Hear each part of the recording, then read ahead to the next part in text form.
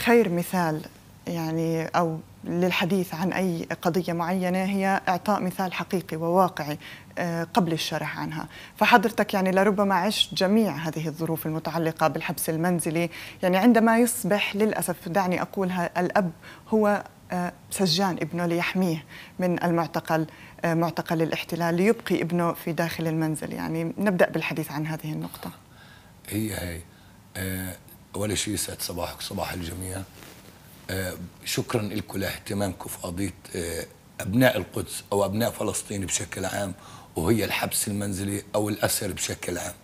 وأنا الحمد لله الله كرمني عندي ولد أسير داخل المعتقل وولد أسير داخل البيت.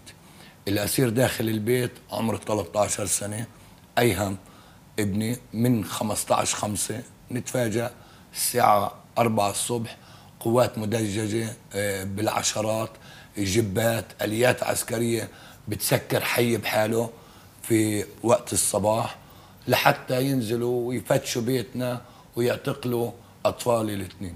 الحمد لله اعتقلوهم روحناهم بعد فترة معينة. ثاني يوم في فترة حبس منزلي.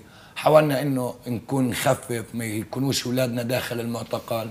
وفكرنا إنهم أطفال يعني أسبوع عشرة أيام بعديها القاضي راح يشوفهم أو يتطلع إنه هدول أطفال حرام يكونوا بالسجن حرام يضيعوا حياتهم التعليمية يروحهم.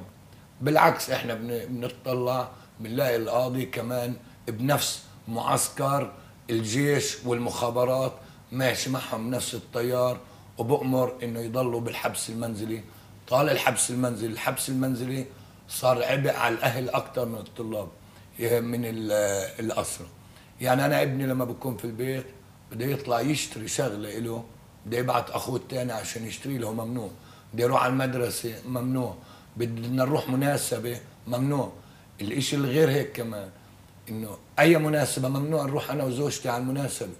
يعني حتى اليوم كنا نود بأن تكون زوجة حضرتك أيضا موجودة معنا للحديث أيضا عن تجربتها ولكن هي هي. آه، يجب بقائها في المنزل من أجل آه، يعني بقائها مع أيهم. زوجتي معي بس لأنه قانون الحبس المنزلي بحتم علينا إنه ممنوع نخرج التنين من من البيت معا.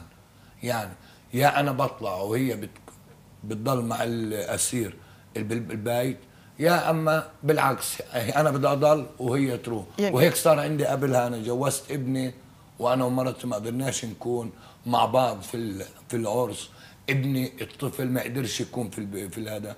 كنا نبدل أنا والزوجة فترات متفاوتة إنه هي تحضر ما ما ما شيء معين أنا شيء معين. آه هذا يعني ظروف صعبة جدا لا يمكن لأحد أن يحتملها. يعني حتى هذه الظروف أنت تعيشها أيضا مع أولاد العمومة يعني هذه آه لربما آه يعني القصص التي نتحدث عنها اليوم يتشارك فيها المقدسيين. ولربما 70% من الأطفال المقدسيين المعتقلين يتم تحويلهم للحبس المنزلي. ما هذه الذريعة التي يستخدمها الاحتلال من أجل لربما آه، يعني التنكيل أيضا بالأهالي المقدسيين؟ أكيد. يعني قضية بحجم قضية أطفال حجار بيتهموهم ضرب حجار قضية متعارف عليها أن هدول الأطفال المفروض يتعاطوا معهم في بيفهموهم يرشدوهم. هذا لو كان في دولة قانون وأولاد بيغلطوا. سعي دولة احتلال.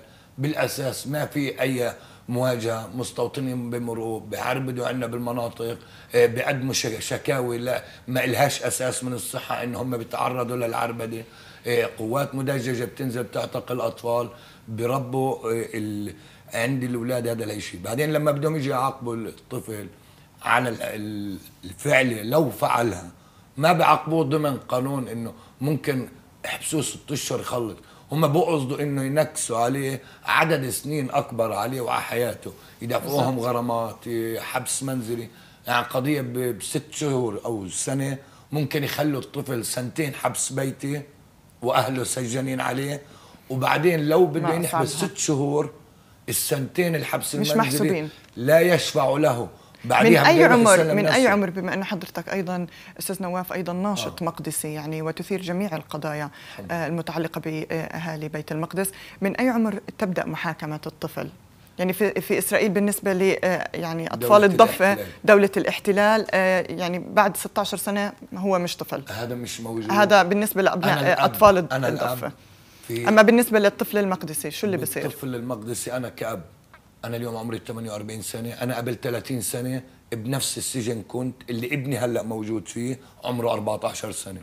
هي 16 قانون بمسلوع على المستوطنين بمسلوع عليهم القانون. إحنا تحت قانون الطوارئ تحت قانون الاحتلال ما بيجريش علينا اي قانون أنو قانون بيجي بقول لك ولد عمره أقل من 12 ابني أيها أقل من 13 لما أجوا اعتقلوه أجوا أخذوه وأحمد أقل من 14 اجوا الساعة 4 الصبح يعني أكثر من 20 جيب جيش.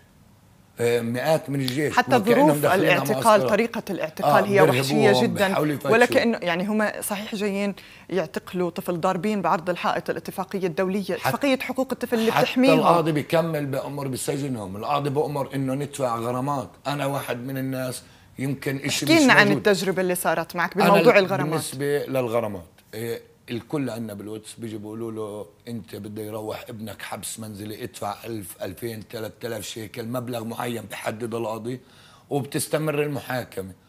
فهذا هو. أنا واحد من الناس طلعت للقاضي بده ينزل أولادي الاثنين للحبس المنزلي وفعليا راح يروحهم لأنهم بيعتبروا قاصرين وراح ينزلوهم لأنه بده يمرمرك فيهم بده يحبسك معهم ومش عامل لك معروف لما بنزلهم حبس بيتي. فأنا وقفت قدام القاضي وقلت له أنا بالنسبة لأبنائي ما بدفع عنهم ولا أي شيء ابني مش مجرم ابني صحيح. مش حرامي ابني ما هو تاجر مخدرات. ابني إجيت واخذتوه بالليل وأنا ما بدفع أجرة الجنود والقوات اللي نزلوا كسروا بيتي صح. وأرهبوا أولادي وأجوا صحونا من نومنا وأخذوا أولادي. وروحوا أولادنا بالحبس المنزلي. رغم إني ما دفعتش. ورفضت أدفع. وأنا بهاي من هون من خلال شاشتكم أنا بدعو كل مواطن مقدسي يرفض يدفع عن ابنه يتمرد على هذا الموضوع. أي شيء خصوصا لما ابنك بكون على قضية أنت بتتشرف فيها. صحيح هناك أيضا آه، لربما مراقبة من قبل دولة الاحتلال للطفل الذي يقبع تحت الحبس المنزلي. صاروا جديد يحطوا موضوع الإسوارة آه، موضوع إنه يحطوا مثلا جنود آه، يضلوا يعملوا زيارات مثلا فجائية عشان يتأكدوا. صار معكم هذا الشيء هذا الشيء اللي صار معنا بس برضه كمان شغلة أنا تعملتها اختلف عن الناس. يعني الحمد لله أنا قضيت ابني أنا كثير شغلات عن الحبس المنزلي حكيت عنها بحياتي. أنت بت... أنا كناشط بلوتس بس كنت أحكي إنه فلان حبس منزلي وخبر عابر يمرق زيه زي أي خبر. بس أنا قضية إبنائي لأني عشت فيها كنت أوثق لما كانوا يجي يقتحموا بيتي يفتشوه ويشوفوا إذا أولادي في البيت ولا مش في البيت. أنا كنت أوثق لما فتشوا لما كنت أطلع على المحكمة الناس صارت تشوف أكثر وبتوسع أكثر في انتشار صار آه صار انتشار لحالة ابنائي لأنه أنا أبوهم وعايش الحالة وكنت أحكيها بكل حذافيرها وكانت معروضة للكل. إحنا كانوا يخلونا الساعة 4 الصبح 5 الصبح ينزلوا عشان يدوروا على أحمد وأيهم كانوا بالحبس المنزلي مع بعض. تنين أنا كانوا بالحبس يعني يس يعني الاحتلال يمارس على العائلات المقدسية وعلى العائلات الفلسطينية عموما أساليب قذرة أساليب سيئة جدا. بالزبط. يعني نتمنى الإفراج القريب والعاجل لأبنائك وجميع آه، يعني الأسرى البواسل وأن يزول هذا الاحتلال. شكرا جزيلا لحضرتك.